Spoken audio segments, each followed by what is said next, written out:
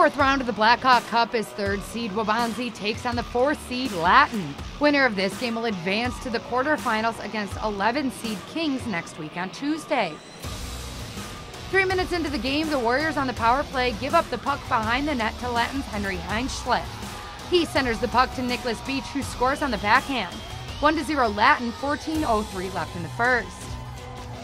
With about three minutes left in the first, Dub v Zach Pearce drives in hard over the blue line and tries to stuff the shot past Ethan Kern, but he denies it, keeping Latin in the lead 1 0. Just under six minutes to play in the second period, Warrior Tony Campise picks up the puck and passes it across the ice to Zach Pearce, who ties the game up at one apiece. Two minutes later, the Warriors find themselves on a power play, and after Pearce's shot is saved by Kern, the rebound is picked up by Will Troy, who gives the Warriors the 2 1 advantage.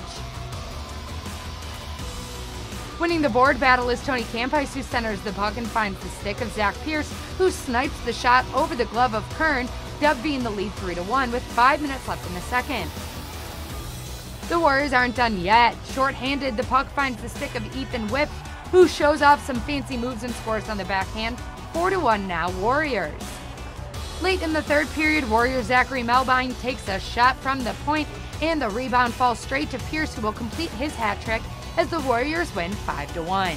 So we have a tendency to come out a little bit flat in our weekday games. It's one of our uh, flaw points that we've been working on, working on throughout the season.